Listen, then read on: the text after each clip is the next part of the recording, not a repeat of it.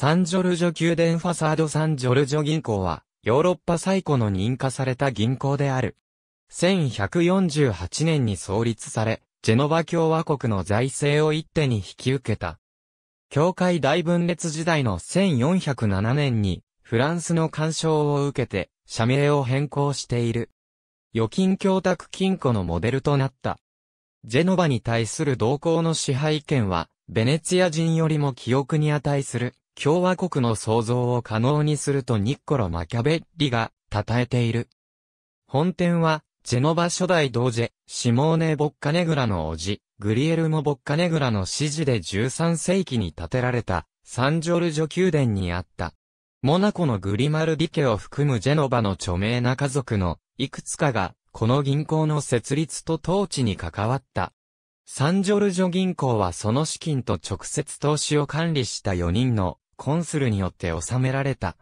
共和国の有力な加藤統治者たちはしばしば同行の要職を兼ねたので、銀行と共和国それぞれの影響力を区別するのは困難がつきまとった。サンジョルジョ銀行は設立当初から国に対し短期の遠ざかし腰を与えていた。現金不足をしのぐために1408年から一般預金を受け入れ出したが裏目に出た。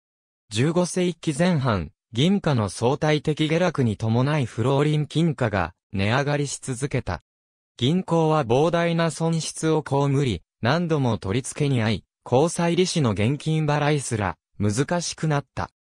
この歴史を反省して、1539年には、スクード金貨のみを扱う五種金貨建て講座を、1606年には、ジェノバの銀スクード貨建ての講座とスペインのレアル貨建ての講座を新設した。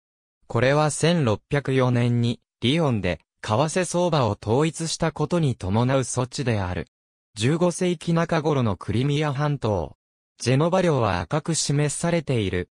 ジェノバの海外領土のほとんどは直接または間接に、サンジョルジョ銀行が治めていた。15世紀を通して、共和国はその領土の大部分を段階的に同行の支配から取り戻した。しかし1453年、コルシカ、ガツァリア及びいくつかの領地の統治を同行の幹部たちに委ねた。タマン半島はギソルフィ家の支配下に留まったが、一方でその君主の一族は同行の監督下にあった。15世紀から16世紀にわたり、同行はヨーロッパ中で多くの者に巨額を貸し出した。クリストファー・コロンブスは代表である。フェルナンド2世とイサベル1世のカトリック領王も、同行に講座を持った。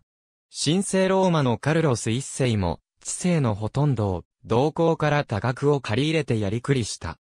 17世紀には、海洋貿易に深く関わり、オランダ東インド会社や、イギリス東インド会社などと競争した。ナポレオンのイタリア遠征後、フランス銀行を中央銀行とするため、1805年にサンジョルジョ銀行は閉鎖された。サンジョルジョ宮殿南側。ありがとうございます。